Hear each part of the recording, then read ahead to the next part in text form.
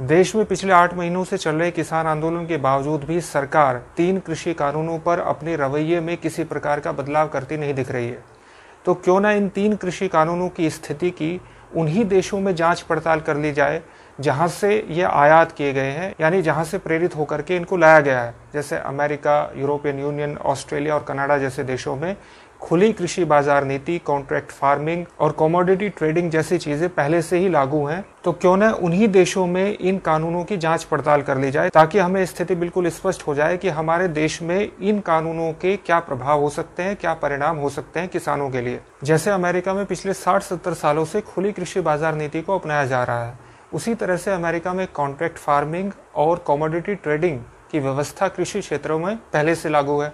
America one nation, one market के सिद्धांत को पहले से ही फॉलो करता है, जिसका दावा हमारे यहाँ भी कृषि कानूनों के लागू होने के बाद किया जा रहा है। और अमेरिका में कृषि उत्पादों को स्टॉक करने की भी कोई लिमिट नहीं है, जिस तरह से हमारे यहाँ एसेंशियल कॉमोडिटीज एक्ट में परिवर्तन करके अब कृषि उत्पादों के स्टॉक करने की लिमिट को समाप्त कर दिया गया है। अमेरिका के फॉर्मर प्रेसिडेंट रोनाल्ड रीगन जिनका कार्यकाल उन्नीस सौ इक्यासी से उन्नीस सौ नवासी के बीच था, उनके एग्रीकल्चर सेक्रेटरी अर्ल बुथ्स ने एक बहुत फ़ेमस स्टेटमेंट अपने कार्यकाल के दौरान दिया था कि गेट बिग और गेट आउट या तो आप बड़ा बनिए या आप बाहर हो जाइए।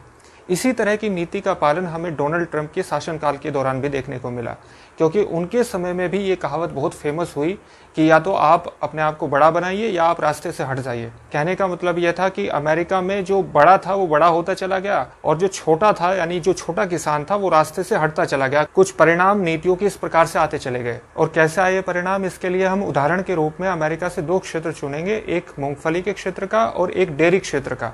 कि इस फ़ील्ड के किसानों को किस तरह से बर्बादी का सामना करना पड़ा है। यूएस नेशनल फार्मर्स यूनियन के अनुसार उन्नीस से लगातार अमेरिका में मूंगफली के दाम नीचे गिर रहे हैं। इसके कारण अमेरिका में चार में से तीन मूंगफली किसान मूंगफली के बिज़नेस कार्य से बाहर हो गए हैं और ये सब ऐसे समय में हुआ है जब मूंगफली की खपत अमेरिका में लगातार बढ़ रही है। उन्नीस में मूंगफली का दाम एक डॉलर पर पाउंड था। जो 2020 में गिरकर 0.25 डॉलर पर पाउंड हो चुका है। यानी 75 प्रतिशत की मूंगफली के दाम में गिरावट हो चुकी है। अगर आपको ये लग रहा हो कि ये सब उत्पादन के बढ़ने के कारण हुआ होगा तो मैं आपको वॉशिंगटन पोस्ट की एक रिपोर्ट दिखाता हूँ जो बताती है कि किस तरह से मूंगफली के पूरे बिज़नेस पर तीन बड़ी कंपनियों ने कब्जा करके मूंगफली के खरीद मूल्य को फिक्स्ड कर दिया। इसके खिलाफ अमेरिका के 12,000 मूंगफली के किसान अदालत में चले गए। उन्होंने इनके खिलाफ केस कर दिया। अदालत में कंपनियों ने स्वीकार किया कि उन्होंने जानबूझ करके मूंगफली के दाम को प्रॉफिट के लिए फिक्स्ड किया था और उसके बाद ये कंपनियाँ किसानों को 103 मिलियन डॉलर का मुआवजा देने के लिए सहमत हुई। यह है खुला बाज़ार, जहाँ बड़ी बड़ी कंपनियाँ इन्वेस्टमेंट के माध्यम से समय के साथ प्राइस सेट करने की पावर हासिल कर लेती हैं। किसानों से खरीदने का भी और बाज़ार में बेचने का भी, केवल अपने प्रॉफिट को बढ़ाने के लिए। इसी तरह से हम अमेरिका के डेयरी क्षेत्र का भी उदाहरण ले सकते हैं। 1970 के दशक में बिग कॉरपोरेशन ने अमेरिका के डेयरी क्षेत्र को टेक ओवर किया। इससे इस क्षेत्र में टेक्नोलॉजी आई और उत्पादन बढ़ा। लेकिन इसका परिणाम क्या हुआ? 93 परसेंट अमेरिकी डेयरी फार्मर्स इस क्षेत्र से बाहर हो गए, क्योंकि उत्पादन के बढ़ने से कीमत कम हो गई, जिस कम कीमत पर यह प्रॉफिट बनाने में बिल्कुल भी सक्षम नहीं थे। तो इन सब का परिणाम आखिर क्या है? परिणाम यह है कि आज अमेरिका में अमेरिकी किसान 425 बिलियन डॉलर, यानी लगभग 32 लाख करोड़ रुपए के दिवालियापन के शिकार हैं। अमेरिका के ग्रामीण क्षेत्रों में शहरी क्षेत्रों की बनस्बत 45 प्रतिशत आत्महत्या की दर अधिक है। और ये सब तब है जब अमेरिका में एक किसान को प्रति वर्ष बासठ हज़ार डॉलर की सब्सिडी मिलती है। और उसके मुकाबले में हमारे देश के एक किसान को कितनी सब्सिडी मिलती है सालाना? 200 डॉलर की। इसी तरह से हम कनाडा का एग्ज़ाम्पल ले सकते हैं। कनाडा में अठारह में गेहूँ की कीमत पर बुशल 30 डॉलर थी। एक बुशल में 27 किलोग्राम होता है। और इन्फ्लेशन को एडजस्ट करने के बाद 2017 में कनाडा में गेहूँ की कीमत पर बुशल रही 5 डॉलर यानी 2017 में एक कनेडियन किसान ने गेहूँ पर जो कीमत प्राप्त की, उसके पड़दादा ने उससे 25 डॉलर अधिक प्राप्त की थी अठारह में। यह है खुली कृषि बाज़ार नीति, क्योंकि 1980 के दशक से वहाँ भी कृषि उत्पादों के एक एक्सपोर्ट पर बहुत बल दिया जा रहा है। खुली कृषि बाज़ार नीति को अपनाया गया है। लेकिन एक तरफ़ जहाँ किसानों को उनकी फ़सलों के दाम नहीं मिल पा रहे हैं, वहीं दूसरी तरफ़ उपभोक्ता कीमतें लगातार बढ़ती जा रही हैं। जैसे यूएस और कनाडा में उन्नीस में गेहूँ की जो कीमत थी, उसमें कोई वृद्धि नहीं हुई है। लेकिन एक बुशल यानी 27 किलोग्राम गेहूँ से बनने वाले 60 ब्रेड के टुकड़े 60 लोव्स की कीमत में 1975 से 2015 के बीच 50 डॉलर की बढ़ोतरी हुई। 1975 में 25 डॉलर थी और 2015 में 75 डॉलर। और ऐसा ही दूसरे खाद्य उत्पादनों के साथ भी हुआ है। इसी से आप समझ सकते हैं कि किसानों से जिस कीमत पर फ़सलों को खरीदा जा रहा है, वो कीमत स्थिर है। लेकिन जिस कीमत पर उपभोक्ताओं को बेचा जा रहा है, उसमें लगातार बढ़ोतरी हो रही है। और सारा प्रॉफिट किसकी जेब में? कॉरपोरेशन के। क्यों? क्योंकि इन बिग कॉरपोरेशन ने समय के साथ ताकत हासिल कर ली मार्केट में प्राइस को निर्धारित करने की। स्वाभाविक है इन सब स्थितियों में छोटे किसान कृषि क्षेत्र से बाहर हो जाएँगे और जो एवरेज फॉर्म साइज़ है, वो बढ़ता चला जाएगा। जैसे कनाडा में छोटे किसान बाहर हुए तो कनाडा में एवरेज फार्म साइज़ बढ़कर के हो गया तीन हज़ार एकड़। लेकिन क्या इससे कृषि संकट समाप्त हो गया? अगर वास्तव में कृषि संकट समाप्त हुआ होता तो वर्तमान में कनाडा में किसानों पर 102 बिलियन डॉलर का कर्ज है। यूएस में टोटल पॉपुलेशन का केवल 1.5 परसेंट खेती पर निर्भर है और वहाँ पर 425 बिलियन डॉलर का किसानों पर कर्ज है, यानी लगभग 32 लाख करोड़ का। फ्रांस की टोटल पॉपुलेशन का केवल 7 परसेंट कार्यशील जनसंख्या खेती में संलग्न है। लेकिन फ्रांस के टोटल किसानों में से 44 प्रतिशत किसानों पर 4 लाख यूरो का कर्ज है। एक यूरो में सतासी अठासी रुपये के बराबर होता है। और फ्रांस के 25 प्रतिशत किसान पर मंथ 350 यूरो से भी कम कमाते हैं, जो गरीबी रेखा से भी नीचे का स्तर है। यानी 25 प्रतिशत जो किसान हैं, वो गरीबी रेखा से नीचे की आय रखते हैं फ्रांस में। यूरोप वर्तमान में अपने किसानों को प्रति वर्ष 100 बिलियन डॉलर की कृषि सब्सिडी प्रदान करता है। जो खबरें हमें किसानों की समृद्धि की मिलते हैं, कृषि बाज़ार नीतियों की सफलता की मिलती है, उनकी दक्षता की मिलती है, वो दरअसल सब्सिडी से चलने वाला बाज़ार है। सब्सिडी के आधार पर ही वहाँ के किसान अपने आप को टिकाए हुए हैं और वो हमें एक प्रॉफिट के रूप में दिखाई देता। है इन्हीं बातों को सपोर्ट करती हुई एक रिपोर्ट में आपको अंक tarred United Nations conference on trade and development की दिखाता हूँ। ये बताती है कि उन्नीस से लेकर 2005 के बीच जो एग्रीकल्चर का आउटपुट प्राइस है, वो लगभग सेम बना हुआ है। यानी जो कीमत 2004-5 में किसान प्राप्त कर रहे थे, वही कीमत उन्नीस सौ में भी प्राप्त कर रहे थे। उनको किसी प्रकार का कोई प्रॉफिट हुआ ही नहीं। डेवलप्ड कंट्री इस तरह की स्थितियों को काउंटर करती है सब्सिडी प्रदान करके। जैसे मैंने अभी आपको बताया कि यूरोप में 100 बिलियन डॉलर की सब्सिडी प्रदान की जाती है किसानों को, और इसमें से भी 50 परसेंट जो सब्सिडी है वो डायरेक्ट इनकम सपोर्ट के रूप में दी जाती है। तो विकसित देश जो है वो इन स्थितियों को काउंटर करते हैं सब्सिडी के माध्यम से, जबकि विकासशील देशों की इन स्थितियों को काउंटर करने की इतनी ताकत नहीं होती, और इसलिए किसान आत्महत्या करते हैं। आजकल चीन से भी किसानों की आय बढ़ने की बहुत सी रिपोर्ट आती रहती है। उसकी क्या सच्चाई है? उसकी सच्चाई यह है कि वर्तमान में चीन यूरोप और अमेरिका से भी ज़्यादा सब्सिडी अपने किसानों को प्रदान करता है। जैसे वर्ष 2016 में किसानों को चीन ने 212 बिलियन डॉलर की सब्सिडी प्रदान की। चीन के गेहूँ के किसानों की टोटल आय का 38 प्रतिशत। और चावल के किसानों की टोटल आय का 32 प्रतिशत केवल उनको दी जाने वाली सब्सिडी से आया है। इन सब बातों को सामने रखने का तात्पर्य यह है कि बाज़ार दुनिया भर में किसानों की आय बढ़ाने में बिल्कुल असफल रहे हैं।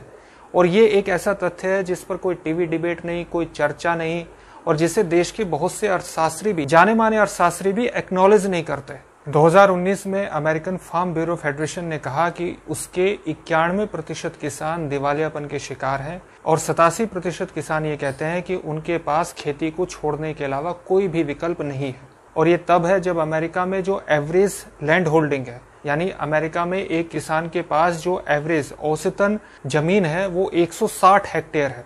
ऑस्ट्रेलिया में 4000 हेक्टेयर है और हमारे देश में एक दशमलव एक हेक्टेयर।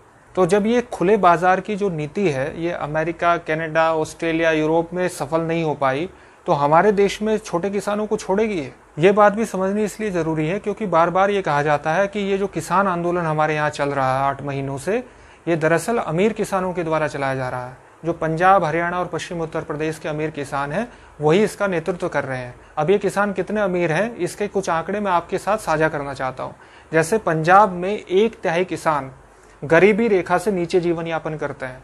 पंजाब के किसान परिवारों पर एक लाख करोड़ रुपए का कर्ज है और 2000 से लेकर 2015 तक पंजाब के 16,600 किसान आत्महत्या कर चुके ये सारी चीज़ें क्या अमीर किसानी की तरफ़ इशारा करती हैं?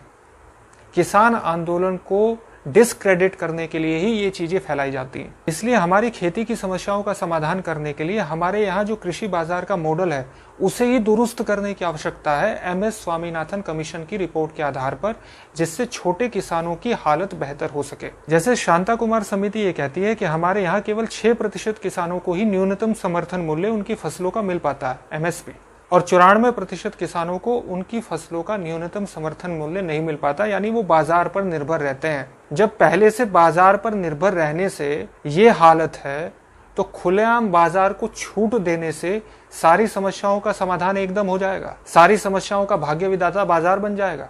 हमारी वास्तविक चुनौती है कि जो छह प्रतिशत किसानों को एमएसपी मिल पाता है, इसका प्रतिशत बढ़ा करके 50 से 60 प्रतिशत करना। और इसका समाधान क्या है? इसका समाधान है जो एम एस स्वामीनाथन कमीशन सुझाता है कि हमारे देश में जो वर्तमान में लगभग सात हज़ार मंडियाँ हैं, पाँच किलोमीटर के दायरे में किसानों को मंडी उपलब्ध कराने के लिए देश में लगभग बयालीस हज़ार मंडियाँ स्थापित करनी होंगी। हमारे देश में किसानों की बदतर स्थिति के लिए, उनकी खराब होती स्थिति के लिए अक्सर उन्हें ही जिम्मेदार ठहरा दिया जाता है। इसके लिए मैं आपके सामने कुछ आंकड़े रखता हूँ। आपको ये स्थिति और ज़्यादा स्पष्ट समझ में आ जाएगी। 1970 में गेहूँ का एमएसपी था छिहत्तर रुपए पर क्विंटल।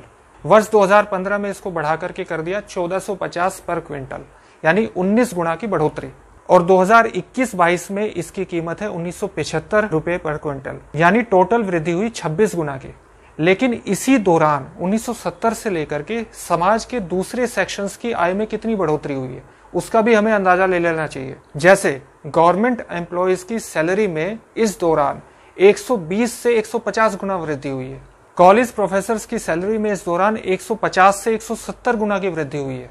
और स्कूल टीचर की सैलरी में इस दौरान 280 से 320 गुना की वृद्धि हुई है। अब आप इसकी तुलना कर लीजिए कि किसान की हालत बदतर नहीं होगी तो क्या होगी जब आप उसकी फ़सलों का ही दाम उसको नहीं दे रहे हैं। Organisation for economic cooperation and development और Indian council for research on international economic relations ने एक स्टडी करी और उसमें आंकड़ा प्रस्तुत किया 2000 से लेकर के 2016-17 का। और उन्होंने ये बताया कि इस दौरान भारतीय किसानों ने 45 लाख करोड़ रुपए गवाए। गवाए कैसे? क्योंकि उन्होंने इस पीरियड के दौरान अपनी फ़सलों को अंतर्राष्ट्रीय कीमतों से 15 प्रतिशत कम पर बेचा, जिसकी टोटल वैल्यू निकल करके आई 45 लाख करोड़ रुपए। अब आप बताइए कि जो ये आपको किसान सम्मान निधि के तौर पर पैसे दिए जाते हैं, अगर इसके स्थान पर आपकी फ़सलों का, किसानों की फ़सलों का उनका सही दाम ही उनको मिल जाए तो इन सब दिखावों की ज़रूरत ही नहीं पड़ेगी कि हम इनकम दे रहे हैं, हमने अट्ठारह हज़ार करोड़ रुपए दे दिए। अब किसानों की फ़सलों का वास्तविक दाम तो दो उनको। वर्ष 2016 के इकोनॉमिक सर्वे के अनुसार हमारे देश में एक किसान परिवार की औसतन आय सालाना बीस हज़ार रुपये है। यानी पर मंथ आय कितनी बैठती है? सोलह सौ छियासठ रुपये सत्रह सौ रुपये भी नहीं। हमारे देश में मंडी व्यवस्था को ही मज़बूत क्यों बनाया जाना चाहिए? उसी की समस्याओं का समाधान क्यों किया जाना चाहिए? इसके लिए मैं आपको एक और उदाहरण देता हूँ। वर्ष 2007 में विभिन्न देशों में, विश्व के सैंतीस देशों में खाद्य के लिए, यानी खाने के लिए, भोजन के लिए दंगे हुए और फ़ूड राइट्स जैसे नए शब्दों का आविष्कार हुआ।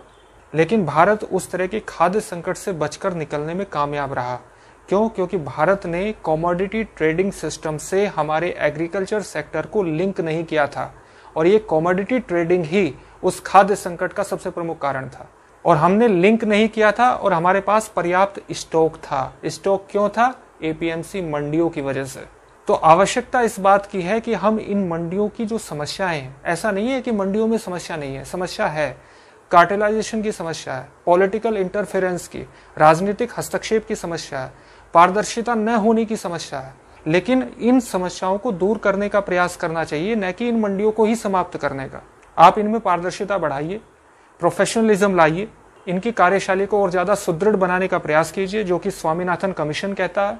इनकी संख्या को बढ़ाइए, बयालीस हज़ार संख्या कीजिए, और किसानों के एमएसपी को लीगल राइट दीजिए। न्यूनतम समर्थन मूल्य को लीगल राइट कानूनी अधिकार देने का मतलब ये नहीं है कि सारी फ़सल सरकार को ही खरीदनी पड़ेगी। इससे केवल ये होगा कि सरकार का विभिन्न फ़सलों के लिए, जिन तेईस फ़सलों के लिए एमएसपी निर्धारित होता है, उनका एक बेंच मार्क प्राइस तय होगा।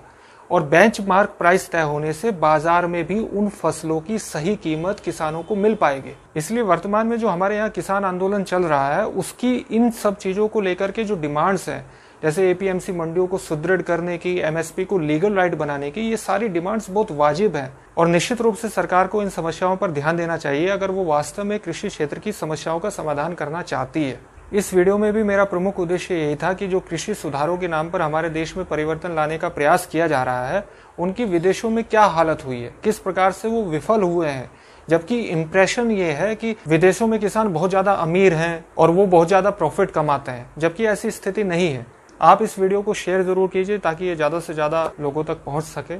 और अगर आपको ये वीडियो अच्छी लगी है तो इसको लाइक कीजिए चैनल को सब्सक्राइब कीजिए बेल आइकन ज़रूर दबाइएगा ताकि आपको लेटेस्ट वीडियो का नोटिफिकेशन मिलता रहे। मिलते हैं एक नए विषय के साथ। बहुत बहुत धन्यवाद।